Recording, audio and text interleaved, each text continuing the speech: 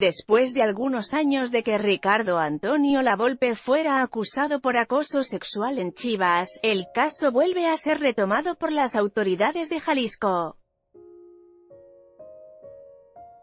El Supremo Tribunal de Justicia del Estado de Jalisco, STJEJ, ordenó la aprehensión de Ricardo Antonio Lavolpe por los delitos de atentados al pudor y hostigamiento sexual en agravio de la podóloga Alma Belén Coronado.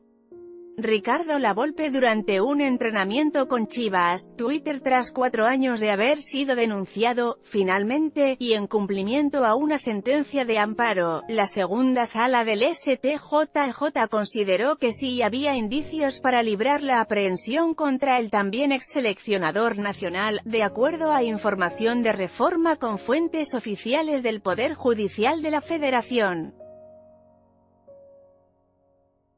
No obstante, el exdirector técnico de las Chivas y del América no será detenido porque promovió un amparo y consiguió la suspensión definitiva contra el mandato de captura, bajo la condición de presentarse ante el juez de la causa en un plazo de tres días, indican listados judiciales. En días pasados, un tribunal colegiado de Jalisco concedió un amparo a Coronado en el que ordenó al STJJ reponer el procedimiento, pero partiendo de que las pruebas en su contra desvirtuaban su presunción de inocencia, del conjunto de circunstancias y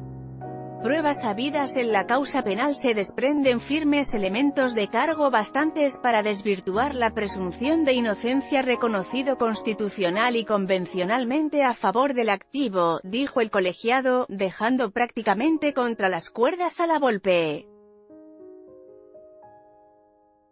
En cumplimiento a la sentencia del colegiado, la autoridad judicial local estimó que sí había indicios para presumir la existencia de los delitos y la probable responsabilidad del director técnico, razón por la que autorizó su captura.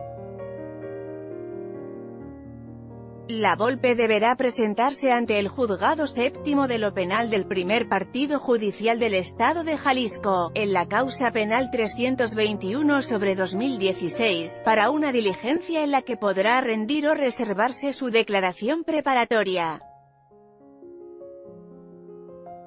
Ricardo Lavolpe dirigiendo un partido con las Chivas, ya media antecedentes Ricardo Lavolpe llegó a las Chivas el primero de abril de 2014, lo que parecía una gran oportunidad tras el paso irregular del que venía con clubes argentinos y en la selección de Costa Rica, aunado a su breve paso por el Atlante.